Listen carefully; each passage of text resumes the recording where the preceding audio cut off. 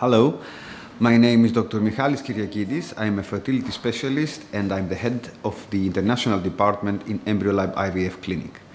I'm going to discuss with you the term protocol.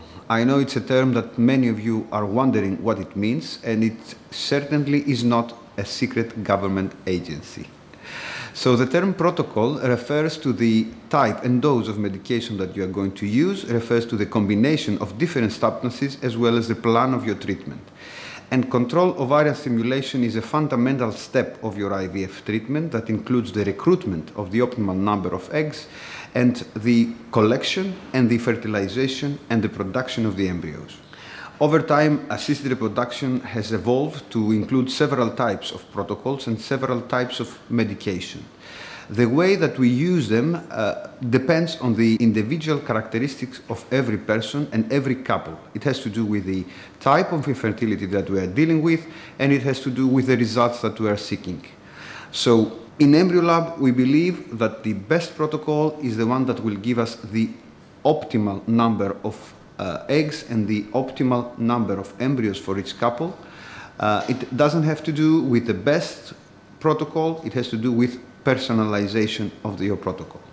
At this point, there are three different types of protocols used worldwide. The most commonly used is the short antagonist protocol. It's a patient-friendly type of treatment. It involves lower doses of medication and it has similar results to all the other protocols.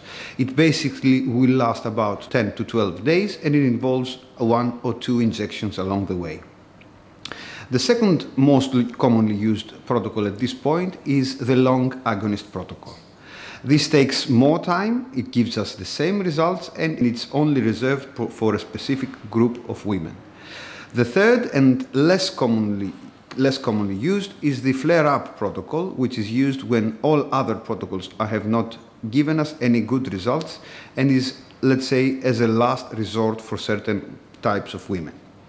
Apart from these, uh, protocols, there are other variations that may include natural cycles or modified natural cycles.